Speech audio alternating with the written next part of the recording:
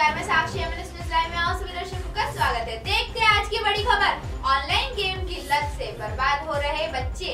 इस पर प्रदेश सरकार ने लगाया प्रतिबंध। आम आदमी की ज़िंदगी का बड़ा हिस्सा आजकल ऑनलाइन के दौर में गुजर रहा है। शॉपिंग से लेकर मनोरंजन के साधन तक लोग ऑनलाइन खोज रहे हैं।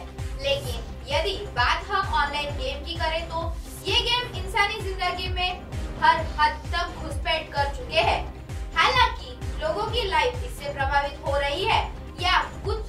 की ज़िंदगी तबाह हो चुकी है। ऐसा ही एक ऑनलाइन गेम है पबजी जो बच्चों और युवाओं में काफ़ी लोकप्रिय है। यह गेम फ़ेमस होने की हर हद पार कर चुका है। इस वजह से बच्चों और युवाओं में इसका एडिक्शन होने लगा है। अब गुजरात सरकार इस मुसीबत से निजात पाने के लिए पबजी गेम पर प्रतिबंध लगाने जा रही है। गुजरात सरकार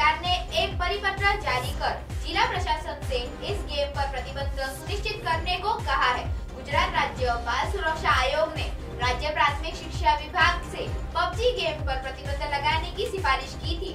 प्राथमिक शिक्षा विभाग ने जिला शिक्षा अधिकारी को पत्र लिखकर कहा कि यह सुनिश्चित करे कि बच्चे स्कूलों में इस गेम को न खेले।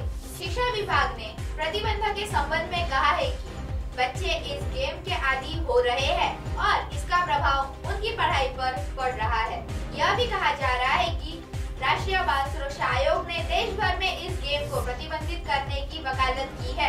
इससे पहले जम्मू और कश्मीर की स्टूडेंट एसोसिएशन ने दसवीं और बारहवीं के खराब परीक्षा परिणामों के चलते इस गेम पर प्रतिबंध लगाने की मांग की थी स्टूडेंट एसोसिएशन ने। इस गेम को विद्यार्थियों का भविष्य बर्बाद करने वाला बताया है।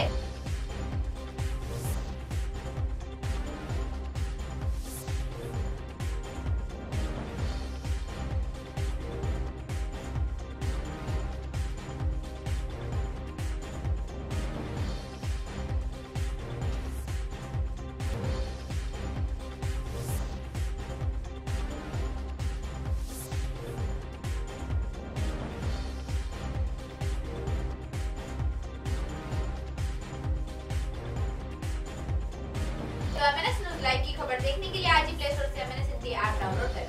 और हमारी न्यूज़ की अपडेट पाने के लिए इस चैनल को सब्सक्राइब करें। बेल आइकन दबाना ना भूलें।